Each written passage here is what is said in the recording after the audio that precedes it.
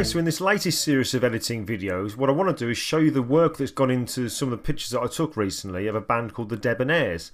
Now, the picture that you see in front of you is the picture that was taken straight out of camera, and what we ended up with was this picture here. So immediately when we look between the two, we can see there's quite a lot of work that's gone into them. And the first bit of work we need to do is removing all this cluster of uh, stuff that's in the sky and this back of a car here. Now the reason all this is here in the first place is when we were shooting we were extremely tight on space so this was actually the best area that I could find where we had at least some sky without too many cranes in it. So what I want to do is just quickly show you how we can remove very quickly all this sort of junk if you like that's around the guys that we've mainly been photographing. So, first of all, as in all the editing that we do, we want to protect the main picture. So we're going to come over to our layers panel we're going to click on the background layer and drag it to the new layer icon so that we get a duplicated copy. That way, if we're making any mistakes, we're not going to be tied in and we're actually going to keep the, the main picture nice and safe.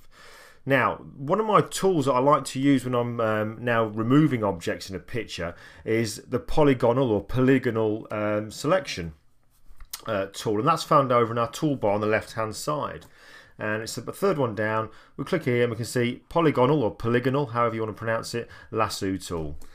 Now, one thing I will say is I'm using CS5 as you can probably tell, but all the editing that we're going to do in this series, all of it can be done in CS4, CS3, CS2, you name it.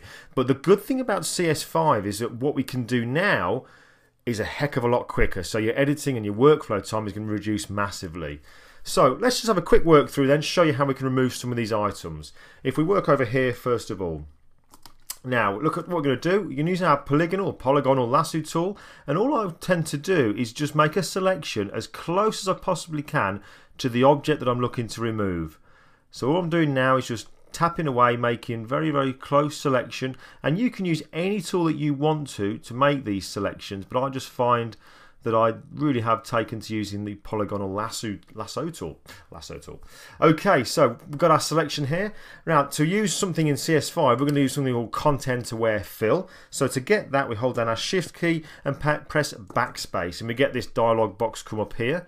And we have some options where it says Use, and the one we want to click on is Content Aware. And when we click on that, click OK, and then we can go straight away we can see that that's moved it very, very quickly and very effectively. The next one we're going to do is this one just here.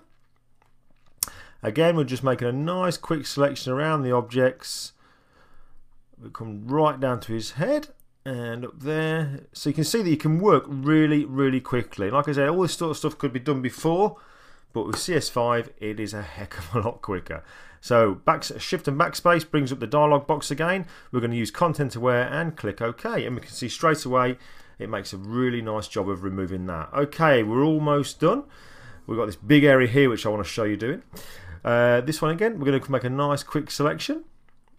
Really, really simple. We can see we just come right down, right, right close to the top of Dave's shoulder here.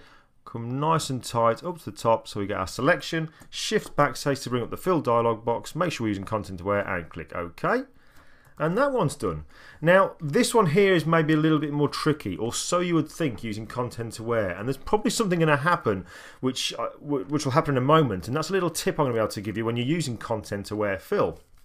Now, like we've just done with all the other removals, all we're going to do is make work our way around the object, nice and tight, however you want to go, just clicking, making the selections all the way around, like so. Now, as you can see, the amount we've got to do here, it will take me a good couple of minutes or so. And what I don't want to do is waste any of the video time. So all I'm going to do is I did that selection earlier on. So I'm going to come up to the top of the screen, choose select, and I'm going to load that selection in. I called it crane, so there you go. So as you can see, we've got the marching ants just surrounding the area of this back of the car and this pole and this crane here. So there you go. Right, so how do we remove it? Again, just as always, shift backspace to bring up the content aware fill dialog box and we're going to click OK. Now we're going to see what result is going to come up. It might not work first time, but that's the good thing about content aware fill. We can try it again and again, and each time it's going to give us different results. So we click OK. Let's just see what this does for us. Takes a little time to process, and there you go. Straight away, we can see that has done a pretty good job of removing that object. So there you go. So there is no reason for us to go back and do that anymore. I'm actually really quite happy with that. But that's just one tip that I want to give you there. When you're using content aware fill, if you don't get the results that you want, you can just redo it and just keep redoing it and redoing it and redoing it until you do get the desired effect. And there you go, that's my little tip on using content aware fill. So tune in next time when we're going to do some dodging and burning, and I'm going to show you how we bring up some detail in the car as well, and then we'll finish off by adding some contrast to the sky. So I hope that was useful, and I'll catch you in part two.